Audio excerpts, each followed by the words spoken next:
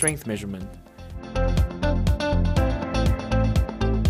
Three maximal contractions with only a short rest period between each contraction are performed.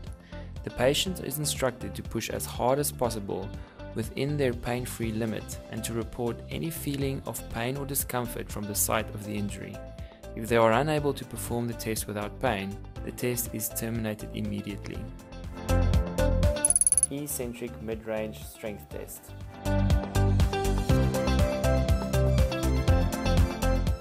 Patient is lying prone and the clinician passively flexes the patient's knee to one foot distance above the examination table.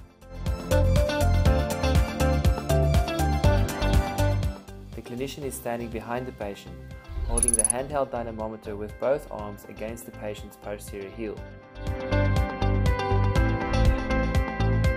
The patient is instructed to perform maximal isometric knee flexion for 3 seconds, after which the clinician applies an eccentric brake test.